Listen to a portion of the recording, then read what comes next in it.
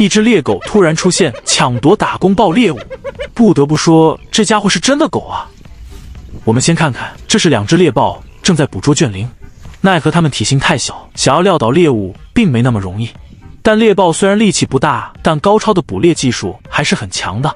此时卷灵算是倒下了，可下一刻，这家伙又开始挣扎了起来。猎豹们无奈，也只能拼尽全力再次撂倒它。这回应该是没什么问题了。但好景不长，就在这时，只见一只猎狗悠哉悠哉地跑了过来，两只猎豹当场就慌了，因为这家伙的到来肯定没什么好事。看来今天又白打工了。猎狗也真是不客气，叼着猎物就想拖走。可让他们没想到的是，卷灵竟然没有断气，而且还突然站了起来，开始反击猎狗。好家伙，这可给猎狗来个措手不及。